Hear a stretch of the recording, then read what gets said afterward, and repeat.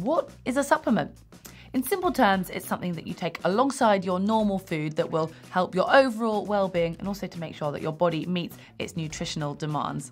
So in this video, we're going to be going into a little more detail as to exactly what a supplement is and then covering my top picks that can help enhance your training and your performance. You might already be taking supplements and not even know it because, say, for example, you're having a protein bar as a mid morning snack, or maybe when you wake up in the morning, you have your vitamin drink, or you head home from training and you've got a milkshake with some fortified vitamins, then you are already supplementing your diet. It doesn't necessarily mean that you have to be having a pill that you've bought from the chemist, for example, or a sports drink that you've actually gone to a specific sports shop to buy, although that is another whole industry in itself. With such a huge array of supplements on offer and manufacturers trying to convince you that it's their product that you need, it can end up being a complete and utter minefield. So, how do you know if you actually need to take a supplement? Well, that's a tough question. And in the ideal world, you go and have a blood test and the results would clearly tell you. But realistically, that's not going to be an option for most of us. So, to a certain extent, it is a matter of trial and error. Start by looking at your diet. If you have a normal, healthy, balanced diet with plenty of fresh fruit and vegetables and you just do a small amount of exercise, then there should be no reason that you need to supplement that.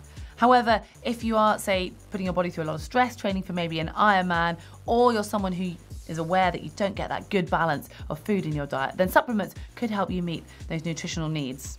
And it's worth noting that if you're on a vegetarian or vegan diet, you will be missing out on certain nutrients. And even if you're gluten free, you're going to be missing out on some of the fortification that you find in flour.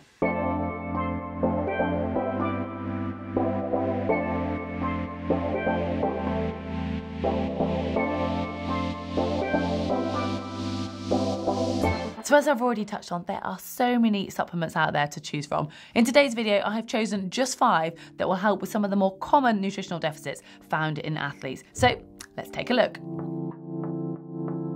First up, we've got omega-3 or fish oils, and the name is interchangeable because high levels of omega-3 are found in fish oils, and fish oils themselves are a natural way to get a high dosage of this nutrient. So as you'd expect, oily fish such as tuna, salmon, herring, mackerel all have high levels of omega-3, and it's suggested that you do have two portions per week. If, however, you don't eat fish, then there's things such as flax seeds, walnuts, dark leafy greens will also help you top up that nutrient. So why are fish oils so often talked about? Well, they are essential for brain, heart, eye health. They make sure that your nails aren't brittle, your skin isn't dry. And if you've got low levels, you might also find that you're having problems sleeping, you're irritable, you've got mood swings. And omega-3 is also important in immunity, and that's another really key point if you're training for a triathlon. And as with all of these nutrients, if you can consume them through food, then you'll get the most positive impact on your health. But if you do need to have a supplement, then you can use these fish oil tablets, but just make sure that you do check the dose first and build up slowly so that your gut has got time to react. Vitamin D is created naturally in our bodies as a result of having direct sunlight. That is, if you're lucky enough to actually find any. And it's needed to have healthy bones because it allows your body to absorb calcium and phosphate, both of which are essential for repairing and rebuilding your bones. And if you don't have enough, then that can lead to weak bones. So you might have heard of something called rickets, but at the severe end of the spectrum, it could lead to stress reaction and even stress fractures. And it's worth noting that your body requires adequate levels of magnesium in order to be able to metabolize vitamin D. But with a healthy balanced diet, that shouldn't be a problem. Obviously, we can't all always get enough natural sunlight, especially if you live in a climate like we do here in the UK. And different skin colours will absorb sunlight and vitamin D at different rates. And also, if you're wearing an SPF sun cream factor, then that's going to cancel out any absorption of vitamin D. Now, you can get small amounts from oily fish, red meat, and eggs, but quite often supplementation is going to be required. So, a recommended daily allowance is actually 10 micrograms of vitamin D a day, but that's only when there's not adequate sunshine. Although, having said that, for athletes, it's actually recommended that a dose of up to 25 micrograms can be useful because of the extra stress that you're putting on your body. And the IOC, the International Olympic Committee, even recommend that athletes consider using vitamin D if they're not getting enough sunlight. And as well as bone stress, it actually helps importantly for the immune system. So again, another key point if you are training for a triathlon.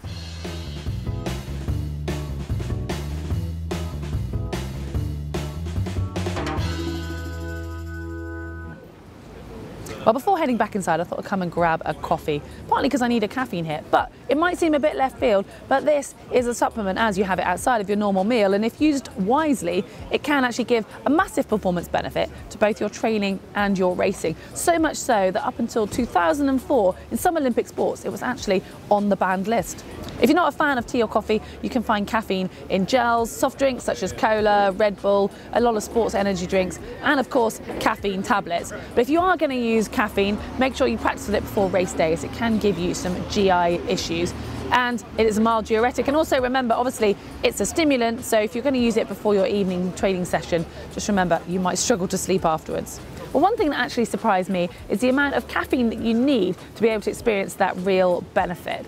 Now, it's recommended that you need around three micrograms of caffeine per kilo of body weight. So for me, that would equate to around 180 micrograms of caffeine. But the difficulty comes with knowing how much caffeine is in, say, something like this latte. But if you do want to measure it exactly, you're probably best to use tablets and then you know the exact dose. And if you've already experimented with caffeine or coffee and you know what works for you, then the recommended upper dose is five or six micrograms per kilo of body weight. Anyway, enough about caffeine. I think I need to finish this coffee and probably head back inside. right. So, on to whey protein. Now, as endurance athletes, you need between 1.2 and 1.6 grams of protein per kilo of body weight. For, for someone of my size, I need roughly between 90 and 100 grams of protein. Now, that might just sound like numbers to you, but to give you an idea, a small, well, an average sized chicken breast weighs in at about 30 grams of protein. So, if you're not a vegetarian and you eat a normal diet, you're probably going to reach those protein levels quite naturally.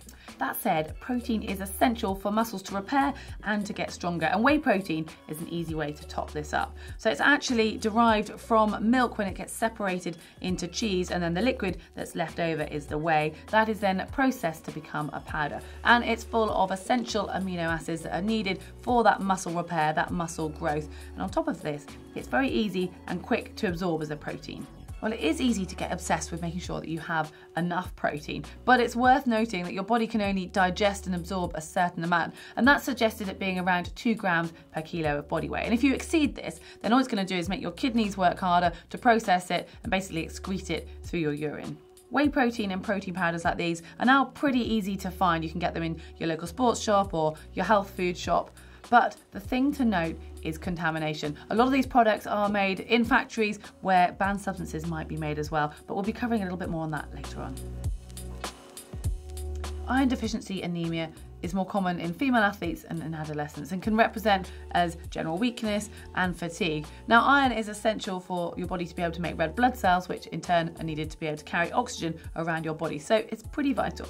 On the plus side, there are so many ways in which you can get iron into your diet naturally. Anything from red meat to shellfish, chicken, salmon, soybeans, lentils, raisins, dried apricots, dark leafy greens. The list goes on, but it is worth noting that actually you do require vitamin C for your body to be able to absorb the iron. So for example, having a dark green leafy salad with some lemon juice or a lemon type dressing would be a great way to do this. And there are a few things that can actually inhibit your iron absorption, such as tea and coffee. So try to avoid drinking tea and coffee at the same time as having an iron rich meal.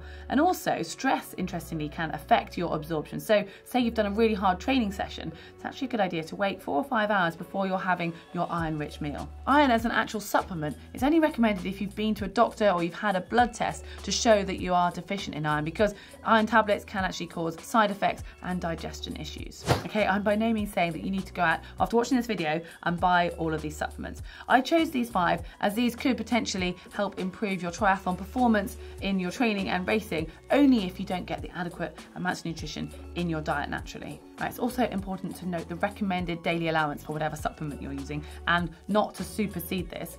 And also to note that as athletes, we're responsible for whatever it is that we ingest. So make sure that you check that that supplement is allowed in your sport. Finally, I cannot emphasize enough the importance of concentrating on having a healthy, balanced diet full of whole grains, lean proteins, vegetables, healthy unsaturated fats before you start looking into the supplement route.